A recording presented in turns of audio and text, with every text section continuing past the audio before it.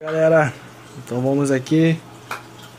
Agora vamos filmar aqui o PC aqui na TV 4K. É, eu quero fazer uns testes aqui com um computador na televisão porque é, é 4K nativo, tem HDR.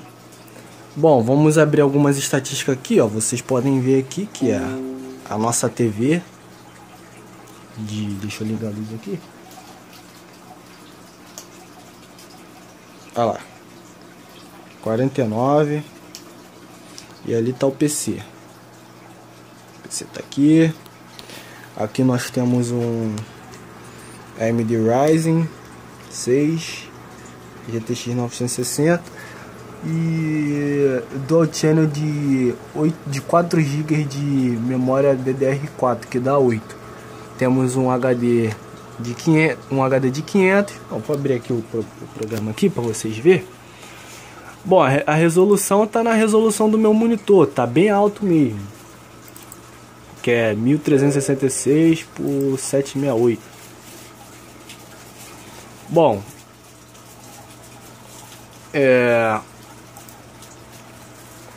esse aqui é, o, é as configurações aqui, ó. CPU 30, 35 graus. É, o, o cooler do CPU ele para de girar quando chega a 34 graus. Que lá, vai parar agora. Ó, ele esquenta, gira, diminui a temperatura, para. Quando chega a exatamente 34 graus, ele só volta a girar quando bate 37. É uma configuração que eu fiz aí no CIV do, da Gigabyte. E aqui é a parte que eu queria mostrar. Bom, a placa de vídeo já está bem quente já, 40 graus. Isso daqui não é, não é a temperatura de trabalho habitual dela, 40 graus. Com esse clock já está bem alto, mas bom, já diminuiu já e é na verdade o clock dela fica em 135 bom o que eu quero ver aqui são vamos ver primeiro a a resolução. Vamos vamos ver o que, que eu faço primeiro. Se eu vejo HDR ou se eu vejo lá HDR bom vamos ativar o HDR primeiro com essa resolução. Bom eu acho HDR. Vamos ver aqui se mudou alguma coisa nas opções de placa de vídeo. Bom, HDR não mudou nada. Mas dá pra ver que os ícones aqui é, não teve tanta diferença assim no HDR. Então vamos lá direto logo para resolução 4K. Ih, não ativou não. Manter a alteração. É porque não está ativando. Ah, não tá ativando. Configurações avançadas de HDR. Eu acho que não vai ativar porque não tá em 4K. Vamos botar em 4K e ativar. Cadê? Eu acho que isso aqui é o 4K, cara. Ah, ih, não quer ativar? Caraca. Ah, por que não quer ativar? Mas Vamos ver aqui. Olha o tanto que a placa de vídeo tá trabalhando, cara. Isso sem HDR. Não, até que não tem muito, muita diferença. Eu, pô, não tem tanta diferença assim. Vamos ver aqui se tá em 4K realmente. Bom, galera, vamos aqui continuar. É, eu vou, vou botar aqui a senha. Ah, parece uns. Olhando assim de longe. Não, mas de perto tem como que se fosse uns grânulos. Ah, nada a ver, é besteira minha. Deve ser coisa do cabo. É, coisinha do cabo mesmo. Já sofri isso antes, já há um tempo. Então vamos lá, galera. É... Eu acho que o HDR tá ativado. É, o HDR está ativado, me tá em 4K.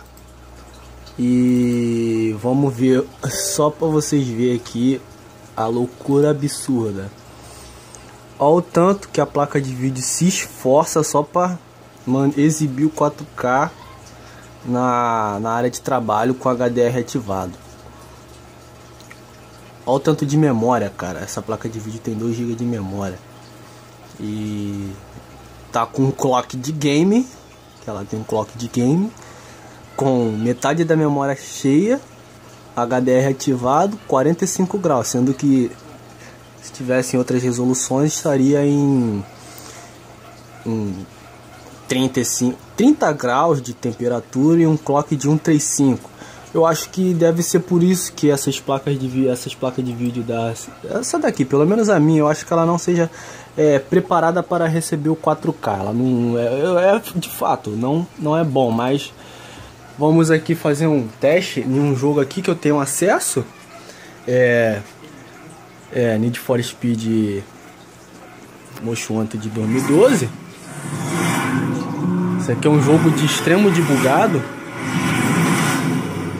E vamos botar. Tem que ficar de olho porque os pais vão chegar dentro de casa daqui a pouco. E tô sem internet. É, se atentem à temperatura. Temperatura da placa, FPS. O jogo vai rodar 60 no máximo.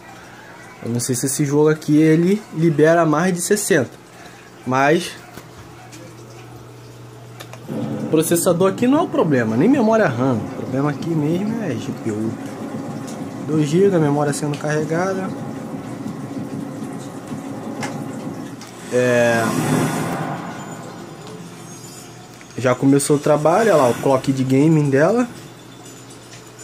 E essa resolução aí é muito alta. Agora a gente vai alterar as resoluções. Vamos botar em em Vamos ver com essa resolução aqui. É não essa resolução aqui é a, é a que eu costumo jogar no monitor. Vamos botar em, em 1080p.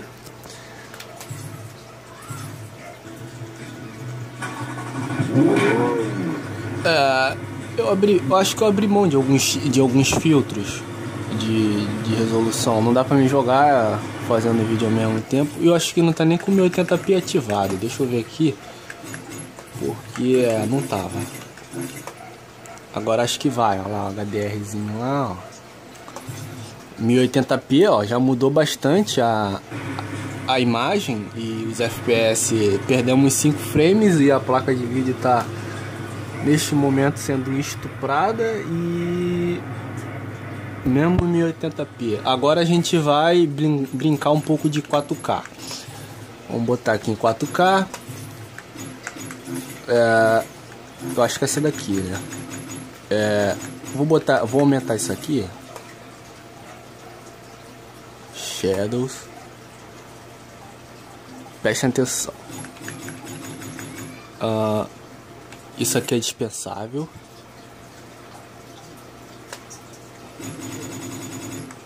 E agora aplicar. Olha como é que já mudou bastante coisa. 4K nativo. Eu acho que é, não. Mas os FPS foi para casa do caraca. 21 frames. Cara, mas tá bonito. Bonito pra caraca. Bom, vamos sair disso aqui de 4K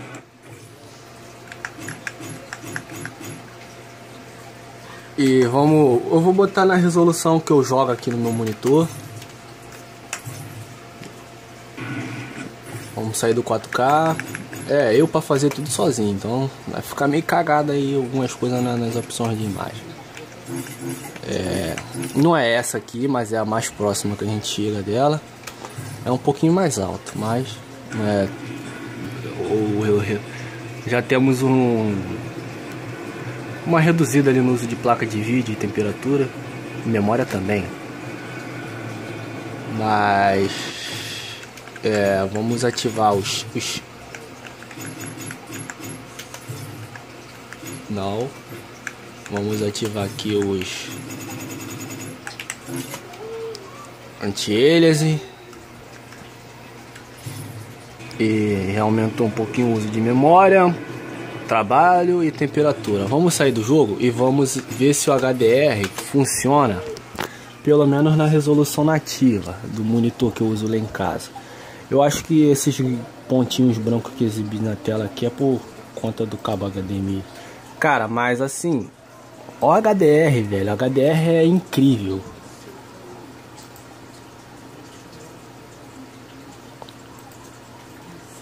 Vamos ver se 1080p. O HDR ainda continua ativo em 1080p, mas a, resolu a imagem da TV ficou meio cagada porque ela é uma TV 4K. E vamos botar na resolução mais próxima que eu uso, que é essa aqui. E ficou horrível nessa tela. Só fica bom mesmo no monitor. Então é isso aí, galera. Eu recomendo que vocês mirem uma resolução que vocês querem rodar nativamente no monitor e jogar com ela. E monte e procure uma placa de vídeo compatível com a resolução que você quer jogar ou usar. Não adianta nada você ter uma televisão hiper, hiper top de linha, que nessa daí, uma TV 4K, tem HDR, ela, eu acho que ela tem pega 120 Hz a minha antiga Smart TV da LG. Logo assim que lançou as Smart TV na, no Brasil, a gente comprou uma da LG também, só que ela veio a óbito. E tinha 1080p 120 Hz. E essa aqui é é um dos melhores, assim, logo assim que lançou é, 4K HDR no Brasil, a gente comprou uma dessa também. Mas não adianta nada você ter uma TV dessa pancada e você querer jogar em resoluções abaixo do que ela dá recomendável. Porque é aquilo que eu sempre falo, cara. Se você tem um monitor de 1368, 66, você tem que usar 1366. Se tu tem um 1080p, tu tem que usar um 1080p. E, e de fato, quando você bota uma resolução mais alta, a placa de vídeo ela trabalha mais um pouco para rodar aquilo. E então, por exemplo, eu preferi aqui. Eu poderia pegar um monitor 1080p, mas o 1080p funciona muito bem em alguns jogos aí. Nessa placa de vídeo aí é 60 fps. Mas eu teria que abrir mão de algumas coisas, mas pelo que eu tenho percebido, e pelo menos no, no Need for Speed aí, o 1080p nessa placa funcionou 60 60. 60, mas eu tive que tirar o o anti-aliasing, que não fez tanta diferença assim, pelo menos não nessa TV, que no caso o anti-aliasing eu teria que habilitar ele se eu tivesse numa resolução abaixo do 1080p, para tirar o serrilhado. Mas é, é, são coisas equivalentes, é coisas equivalentes. É, no caso ali, o processador ali é um, um Ryzen 5600, está com overclock, a placa de vídeo está ali. É, eu pensei em comprar um produto que me atendesse a resolução que eu uso e que me desse folga para me botar tudo no ultra e jogar confortavelmente naquela telinha pequena. Essa tela aqui é muito grande, cara. Não dá para me jogar. Não, eu não, não dá. Eu não gostaria de jogar, usar o computador numa televisão dessa. 49 polegadas já é grande já. Eu não gostaria nem na de 32. Eu preferia mesmo um monitor pequeno e no caso assim, um ultra wide, aqueles bem esticadão assim, para ficar melhor. Mas, pô, você percebe que ela é muito grande e, e, a experiência não é tão legal assim. Eu já não curto já, eu prefiro aquelas telinhas de computador de 19 polegadas, já é mais confortável. Mas assim, esses TV, essas telões enormes assim que a gente vê por aí, para computador para mim não vale. Então é isso aí, galera. Essa é a minha opinião. E eu acho que o HDR ele teria que ser, se pudesse, vamos ver a diferença que dá se a gente desligar o HDR. Ó, olha só como é que muda. O branco fica mais suave. é, fica tudo mais suave com HDR. Eu acho que seria interessante se os monitores normais de computadores tivessem HDR. Eu vou desligar aqui. E eu curti, mas preferia pelo menos que os monitores mais coisas tivessem HDR do que a, a TV, o, o, ter o suporte ao 4K em si. Mas o HDR nos monitores mais modestos seria interessante, visto que o HDR teria um ganho de, de um salto de experiência em imagem maior. É, essa é a minha opinião, eu só não sei se como ficaria o HDR num monitor pequeno, mas o HDR numa tela dessa aqui 4K fica muito bonito. E, e é claro que eu não vou conseguir exibir o tanto de, de experiência de imagem que a gente vê aqui nessa TV, que é fenomenal. Essa TV aqui é incrível. É, essas telas aí novas que eles estão fazendo aí são incríveis. É, e eu falo, minha opinião é que vale a pena comprar uma TV dessa para assistir o que for. Ainda mais se você tiver alguma outra coisa, tipo um. Não vou nem botar Blu-ray, vou botar uma Netflix em 4K com HDRzinho configuradinho. Fica maneirinho, cara, fica maneirinho. É, no caso, um PlayStation 4 Pro e um Xbox X. Seria maneiro também, no caso, um PC. Mas no PC já fica menos desinteressante você usar isso no PC. Melhor. Pra TV, eu acho que a melhor coisa que tem é o videogame. Melhor que o PC nesse caso aí, porque é conforto. Conforto não se discute. Mas o PC é claro que vai ser sempre melhor que um videogame. Mas no caso assim de você ter conforto na hora de usar a TV e você quiser jogar, melhor o videogame do que o PC, porque o PC é é coisas de PC. Então é isso aí, galera. É, valeu, tô indo nessa. Depois vai ter vídeos falando do, do computador, dos problemas que eu tive com o computador é, falar do porquê disso aqui. E é isso aí, galera. Minhas experiências que eu tive com esse computador novo.